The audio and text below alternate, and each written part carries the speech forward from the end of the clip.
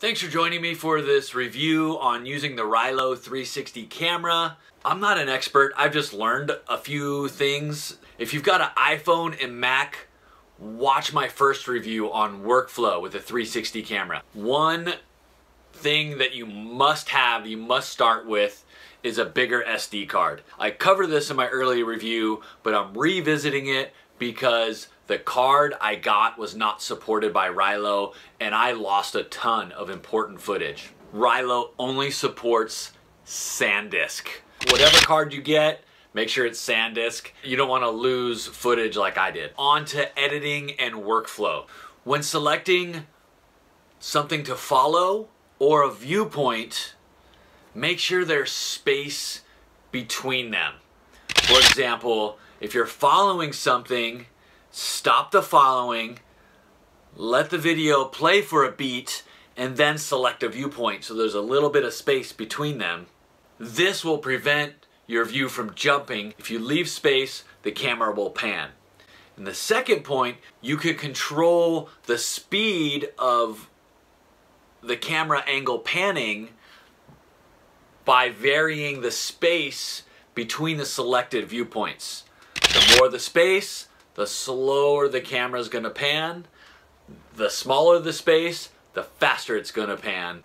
Now, sometimes what I've found is the, the viewpoint will be slowly pulling, and that's just because you've added a viewpoint down the timeline and it's pulling towards that really slowly.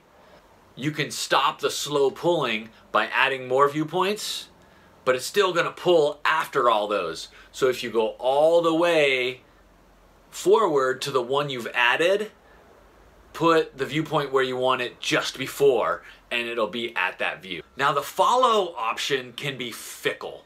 If you're choosing something to follow, it can lose it really easily. Unless the subject is passing by, just use the look here option instead and create a viewpoint. Now, if the subject you're following comes out of center, just create another viewpoint.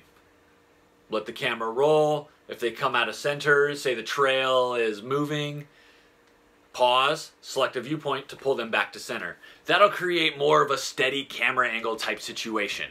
In my previous review on workflow with the Rylo, I talk about doing a hardline batch import through photos. I had so much footage with this latest episode of Weekly Ride that I got confused of what clips were what clips. Doing a batch import all at the same time when you're completely done editing, for me, keeps things less confusing. The last thing I learned is the need for an iPad. There were 46 clips I needed to edit. It took me two days and I was on this tiny little screen. The Rylo iOS software works with the iPad. If you have one, use your iPad instead. The bigger screen is gotta be so much better. In review, SD card, SanDisk only.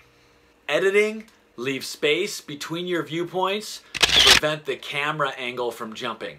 You can control the speed at which the viewpoint pans by varying the space between your viewpoints.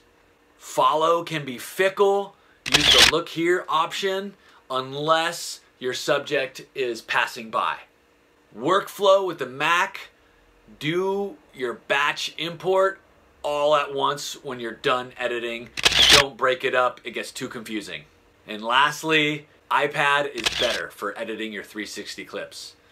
I'll share more as I learn more. For now, thanks for watching. Be sure to check out my latest episode of Weekly Ride and see the 360 camera in action. Thanks again.